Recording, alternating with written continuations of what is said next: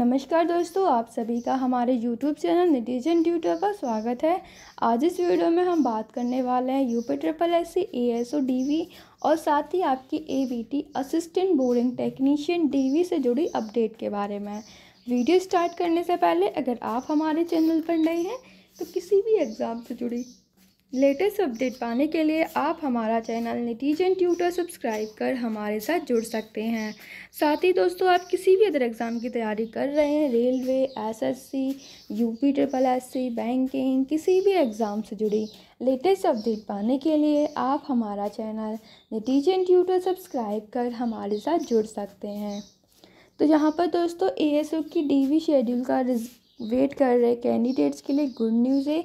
जी हाँ दोस्तों within one to two days आपका जो डीवी का शेड्यूल है, आयोग के द्वारा आउट कर दिया जाएगा।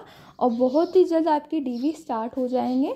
आपकी बंद दरुका की जो फ़िज़िकल है दोस्तों काफ़ी कंप्लीट हो चुके हैं तो यहाँ पर अब जो नेक्स्ट प्रोसेस है आपका डीवी का ही स्टार्ट किया जाएगा और चांसेस हैं कि 20 अप्रैल के आसपास आपके जो डीवी हैं वो स्टार्ट हो सकते हैं।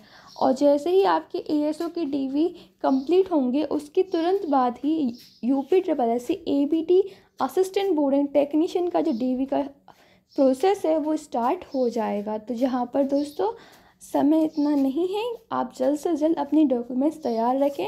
ए बी टी वाले कैंडिडेट्स भी अपने डॉक्यूमेंट्स अभी से तैयार रखें, ठीक है? बिकॉज़ अगर आप बिल्कुल शेड्यूल का वेट करोगे तो यहाँ पर ऐसा भी हो सकता है कि सिर्फ़ दो दिन पहले आपका शेड्यूल आउट आउट किया जाए तो दो दिन में आप कोई भी डॉक्यूमेंट्स रेडी नहीं रख सकते हो, अगर आपका तैयार नहीं है तो। तो सभी डॉक्यूमेंट्स आप अभी से तैयार रख लें। बिल्कुल दोस्तों डीवी का जो शेड्यूल है, आपका कभी भी आ सकता है। बाकी दोस्तों, अगर हम बात करें कि डीवी के बाद आपका फाइनल मेरिट कितना जा सकता है तो अभी डीवी के लिए जो आपका कट ऑफ़ गया था, उससे अगर आपका एक या दो नंबर भी ऊपर है तो भी दोस्तों, आपका यहाँ पर फाइनल सिलेक्शन हो जाएगा। सेम दोस्तों, आपका एबीटी के लिए है असिस्टेंट बोर्डिंग टेक्नीशियन वहाँ पर भी दोस्तों, अगर आपका दो से तीन मार्क्स ऊपर है कट ऑफ़ से तो भी आपका फाइनल सिलेक्शन हो जाएगा। अगर दोस्तों ऑन एन एवरेज अगर हम बात करें कि आपकी ज्वाइनिंग कब करवाई जा सकती है तो अगर आपकी टीवी अप्रैल के मंथ में कंप्लीट हो जाते हैं तो आपकी जो ज्वाइनिंग है जुलाई के मंथ में एक्सपेक्टेड है। साथ ही दोस्तों सेम यही बोरिंग टेक्नीशियन वालों के साथ है कि अगर आपके टीवी मई में कंप्लीट हो जाते हैं तो आपका जो फाइनल रिज़ल्ट है और आपकी ज्वाइनिंग में दो से तीन महीने का टाइम लग सकता है और ज़्यादा भी लग सकता है बिकॉज़ यहाँ पर यूपी ट्रिपल एससी के बारे में कुछ भी कह पाना काफ़ी मुश्किल है। तो आप यहाँ वेट कर सकते हैं। फ़िलहाल दोस्तों, अभी शेड्यूल का भी वेट करना है और जैसे ही शेड्यूल आउट होगा, हम आपको इन्फॉर्म करेंगे। बट आप अपनी तरफ़ से अपनी पूरी तैयारी रखिए कि जब भी शेड्यूल आउट हो तो आपको दिक्कत ना पड़े डॉक्यूमेंट्स की। तो आप सभी पहले अपने डॉक्यूमेंट्स तैयार रख लें।